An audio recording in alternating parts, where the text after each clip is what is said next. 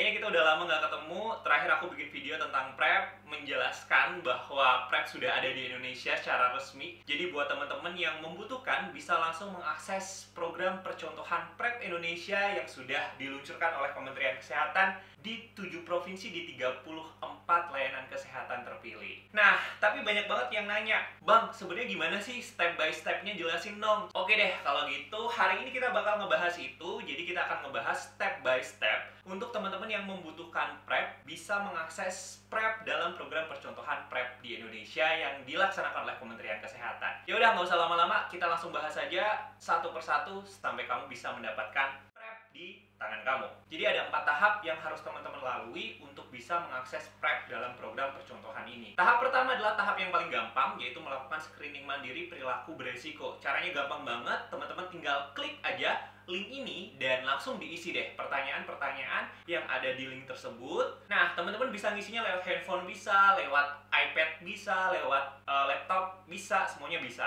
ya.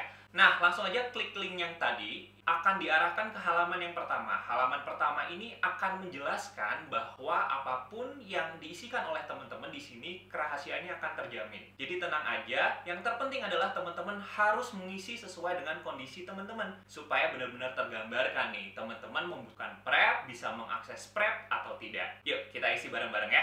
Nah, di halaman selanjutnya teman-teman akan dijelaskan bahwa sebenarnya akan ada dua screening, yaitu screening perilaku beresiko dan screening medis. Pertama-tama, teman-teman akan melakukan screening perilaku beresiko yang bisa dilakukan secara mandiri melalui link ini. Kemudian nanti kalau seandainya teman-teman memang disarankan untuk menggunakan PrEP, akan dilanjutkan dengan screening kelayakan medis yang akan dilakukan di layanan kesehatan PrEP yang sudah ditunjuk.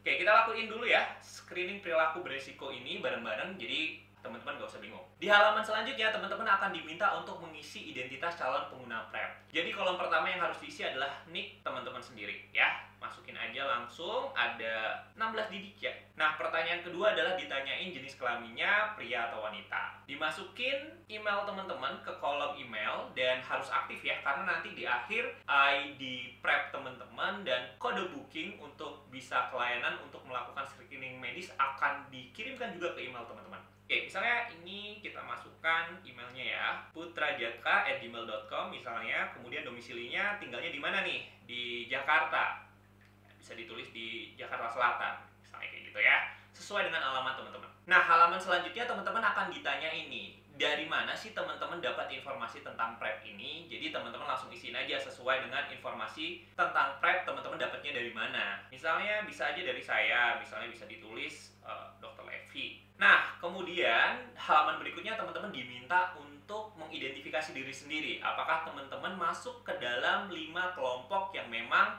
disarankan untuk menggunakan PrEP dalam program percontohan ini? Kira-kira masuk yang mana dari lima kelompok ini? Misalnya contohnya pengguna narkoba suntik. Oke, kita bisa klik ya. Nah, di halaman berikutnya sebenarnya akan banyak pertanyaan tentang perilaku seksual teman-teman, apakah berisiko atau tidak, yang nantinya akan menentukan apakah teman-teman ini disarankan untuk menggunakan PrEP atau tidak. Nggak usah khawatir, jawab saja secara apa adanya sesuai dengan kondisi teman-teman. Pertanyaan pertama adalah dalam tiga bulan terakhir berapa orang nih wanita ataupun pria yang menjadi partner seks teman-teman. Jadi uh, melakukan hubungan seksual melalui vagina ataupun anus berapa orang jumlahnya. Isi aja sesuai dengan kondisi teman-teman. Di sini ada isian tidak pernah satu, dua, tiga atau lebih. Misalnya kalau teman-teman 5 gitu ya. Begitu juga untuk kolom wanita, apakah selain berhubungan seksual dengan pria, melakukan hubungan seksual juga dengan wanita? Kalau misalnya iya, bisa jawab jumlahnya. Kalau seandainya tidak, ya berarti jawab tidak pernah. Misalnya kita tulis 4 ya, jadi kita isikan 4 bisa, jadi di kolomnya kita tulis 4. Kemudian kita pilih next. Pertanyaan selanjutnya, apakah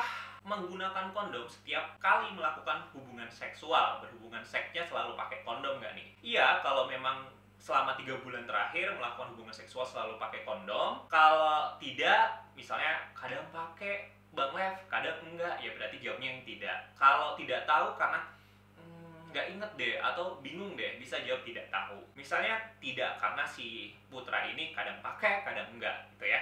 Oke. Dalam tiga bulan terakhir, pernah nggak sih mengalami IMS, infeksi menular seksual? Misalnya contohnya apa sih Bang Lev? Kayak nanah jadi keluar nanah dari alat kelamin atau herpes atau hepatitis B atau kena sifilis ataupun IMS-IMS lainnya selama tiga bulan terakhir. Misalnya si putra ini pernah mengalami atau terinfeksi gonore, jadi dia jawab iya. Kalau seandainya tidak pernah, ya berarti jawab tidak. Kalau seandainya "Hmm, aku tuh pernah kena deh, tapi bingung nih tiga bulan ini atau lebih ya, agak-agak lupa. Bisa jawab tidak tahu juga. Oke. Nah, Pertanyaan selanjutnya adalah dalam tiga bulan terakhir, apakah memiliki pasangan yang status HIV-nya positif dan berencana hamil dengan pasangan teman-teman yang status HIV-nya positif atau tidak secara konsisten nih menggunakan kondom ketika berhubungan seksual dengan seseorang yang status HIV-nya positif. Misalnya si putra ini nggak punya, oke kita berarti jawab tidak ya. Nah, Pertanyaan selanjutnya adalah dalam tiga bulan terakhir apakah sudah pernah menggunakan PrEP? Jadi teman-teman ada pengalaman nggak nih sebelum mengakses program percontohan ini secara swasta atau mandiri mengakses program PrEP? Kalau seandainya sudah pernah bisa dijawab sudah pernah, kalau seandainya belum bisa jawab belum pernah ya. Misalnya belum pernah si putra ini. Kemudian uh, pertanyaan selanjutnya apakah hubungan seksual terakhir teman-teman itu menggunakan kondom atau enggak? Bisa dijawab iya ataupun tidak sesuai dengan kondisi teman-teman ya. Misalnya si putra ini terakhir pakai nih, jadi dia jawab ya. Nah, pertanyaan selanjutnya adalah frekuensi. Frekuensi hubungan seksual teman-teman itu dalam seminggu apakah satu kali atau lebih dari satu kali? Tinggal dijawab aja. Hmm, kayaknya lebih deh dari satu kali. Bisa dijawab lebih dari satu kali. Kalau seandainya memang satu kali atau kurang, bisa jawab satu. Ya. Oke, nah teman-teman bisa juga kembali ke pertanyaan-pertanyaan sebelumnya kalau memang seandainya teman-teman belum yakin atau eh kayaknya aku tadi ngisi salah deh. Bisa diklik previews, nanti bisa kembali ke. Contoh, ah, kayaknya aku nggak satu kali doang deh, kayaknya lebih dari satu kali dalam seminggu melakukan hubungan seksualnya. Bisa diganti, jadi lebih dari satu kali.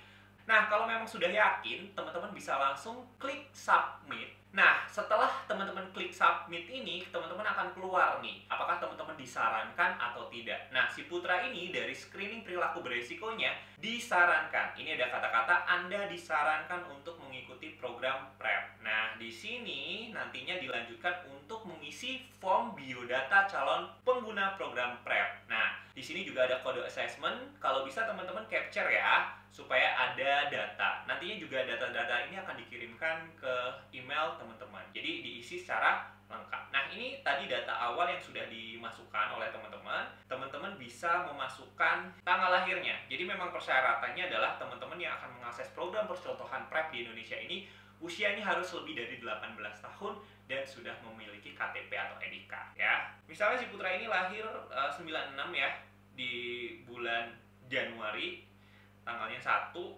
ya domisilinya di uh, Jakarta tempat tanggal lahirnya di Jakarta Selatan. Jadi kalau udah keisi semua coba cek lagi form biodata calon pengguna PrEP ini. Teman-teman bisa mengeditnya kalau seandainya memang masih ada yang salah. Kalau emang udah yakin dan sudah benar bisa langsung klik submit biodata. Nah, di halaman selanjutnya teman-teman diminta nih untuk bisa memilih layanan kesehatan penyedia program percontohan PrEP di Indonesia. Jadi misalnya si Putra ini tinggalnya di Jakarta Selatan. Jadi teman-teman bisa mencari puskesmas-puskesmas yang memang paling dekat dari rumah teman-teman supaya nggak nantinya ya kalau harus kunjungan ke layanan. Ini misalnya di sini ada beberapa untuk Jakarta Selatan karena yang paling dekat dari Putra adalah Puskesmas Mampang Perapatan, jadi bisa diklik Puskesmas Kecamatan Mampang Perapatan. Jadi bisa dipilih ya, ada 34 layanan PrEP yang ada di Indonesia yang dipilih oleh Kementerian Kesehatan. Nah, dipilih juga tanggalnya kira-kira mau kapan nih kunjungan ke layanan untuk melakukan screening medisnya. Misalnya aku mau bulan depan aja deh uh, setelah libur gitu ya di hari Kamis tanggal 2. Bisa langsung diklik dan pilih submit. Nah, nanti teman-teman akan mendapatkan kode booking kunjungan. Jadi kata-katanya di sini booking kunjungan telah berhasil disimpan. Nah, di sini ada kode bookingnya juga. Jadi teman-teman nanti kayak si Putra bisa datang sesuai dengan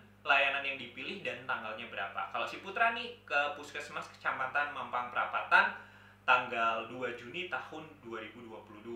Nah, kode bookingnya nanti juga akan dikirim ke email, tapi nggak salahnya bisa kita capture ya. Jadi uh, teman-teman punya dokumen yang nanti kalau teman-teman datang ke layanan bisa langsung tunjukin. Ini saya sudah melakukan screening perilaku beresiko dan akan melanjutkannya untuk melakukan screening medisnya di layanan PDP HIV di puskesmas teman-teman pilih. Kita lanjut ke tahap kedua, jadi sesuai dengan tanggal booking kunjungan teman-teman, teman-teman datang ke layanan PrEP yang sudah teman-teman pilih pada tanggalnya. Nah, langsung aja datang ke pendaftaran. Di pendaftaran teman-teman bisa menggunakan BPJS atau bayar pendaftaran secara umum. Nah, nanti teman-teman minta untuk ke poli PDP HIV. Nah, jadi setelah itu nanti teman-teman pasti akan diarahkan ke poli PDP HIV masing-masing puskesmas ataupun layanan kesehatan yang teman-teman sudah pilih. Nah, di tahap kedua ini teman-teman akan melakukan screening medis. Screening medis ini terdiri dari dua hal. Yang pertama adalah teman-teman akan diwawancarai atau dianamnesis oleh dokter untuk mengetahui apakah teman-teman ini memang membutuhkan PrEP dan layak untuk bisa mengakses program percontohan PrEP di Indonesia. Jadi teman-teman nggak usah khawatir, jawab saja pertanyaan-pertanyaan yang ditanyakan oleh dokter secara apa adanya. Tenang aja, kerahasiaan akan dijamin oleh petugas kesehatan. Nah, selain wawancara dan anamnesis dengan dokter, di screening medis ini teman-teman diminta untuk melakukan pemeriksaan laboratorium. Pemeriksaan laboratorium yang menjadi prasyarat untuk teman-teman bisa mengakses PrEP adalah tes HIV. Jadi memang PrEP ini digunakan oleh orang-orang yang status HIV-nya negatif, bukan untuk orang-orang yang status HIV-nya positif.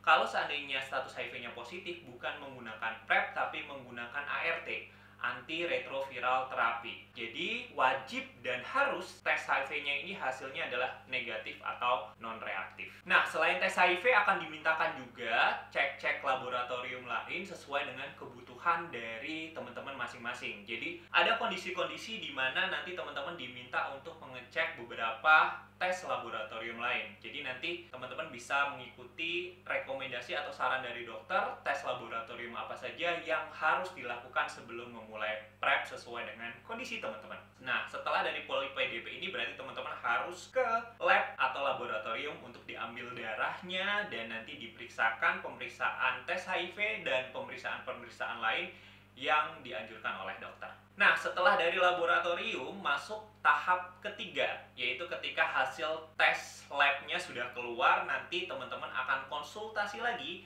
dengan dokter untuk mengkolaborasikan hasil wawancara atau anamnesis dan hasil dari tes laboratorium teman-teman. Nah, dari wawancara atau anamnesis dan hasil tes ini akan ditentukan nih, apakah teman-teman memang perlu membutuhkan dan layak bisa mengakses PrEP di program percontohan ini. Nah, kalau memang teman-teman itu layak dan memang membutuhkan PrEP, dokter akan uh, menyampaikannya. Nah, di sini teman-teman juga bisa menanyakan pertanyaan-pertanyaan yang memang teman-teman masih bingung atau masih ada beberapa hal yang ingin teman-teman tanyakan. Nah, dokter akan menentukan di konsultasi ini cara penggunaan PrEP-nya. Apakah menggunakan dosis harian ataupun menggunakan dosis event-driven. Hal ini disesuaikan dengan kondisi medis teman-teman sesuai dengan screening medis yang telah dilakukan. Nanti setelah teman-teman paham bagaimana cara menggunakan regimen PrEP-nya sesuai dengan kondisi teman-teman, teman-teman akan diarahkan ke tahap yang keempat. Tahap yang keempat teman-teman akan uh, diarahkan ke farmasi, nanti teman-teman akan mendapatkan obat seperti ini. Nah, nanti farmasi juga akan menjelaskan kembali cara meminumnya, kapan waktunya, dan berapa dosisnya. Ingat ya teman-teman, keberhasilan PrEP ini salah satunya adalah dari konsistensi teman-teman dalam mengkonsumsinya. Nah, jadi gampang banget ya, cuma ada 4 step buat teman-teman untuk bisa mengakses program percontohan PrEP di Indonesia.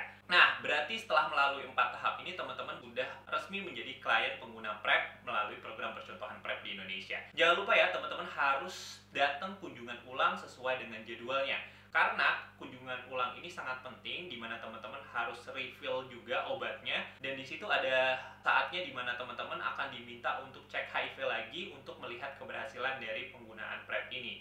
Kunjungan ulang harus dilakukan teman-teman di bulan pertama, ketiga, di bulan ke-6, 9, dan 12. Gimana teman-teman? Sudah paham kan caranya step by step? Nah, kalau masih bingung dan masih ada pertanyaan yang ingin ditanyakan, jangan sungkan langsung aja tulis di kolom komentar. Insya Allah nanti pasti akan aku bales. Jadi teman-teman gak bingung lagi nih, gimana nanti kalau ada di layanan dan prosesnya supaya teman-teman bisa mengakses program percontohan PrEP di Indonesia ini. Oke, semoga teman-teman bisa segera mengakses ya, bagi teman-teman yang membutuhkan. Harapannya nanti PrEP ini bisa tersedia di seluruh daerah di Indonesia, nggak cuma di tujuh provinsi piloting program ini. Oke, kita doakan bareng-bareng ya.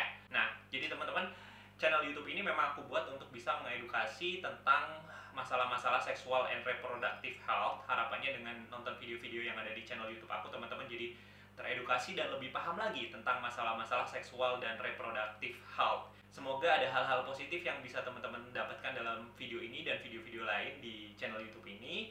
Jangan lupa subscribe. Terima kasih buat dukungannya. Aku akan usahain akan upload 1 sampai 3 video dalam setiap minggunya. Jadi tungguin ya. Thank you so much yang sudah nonton. Ketemu lagi di video berikutnya. See you. Stay safe ya.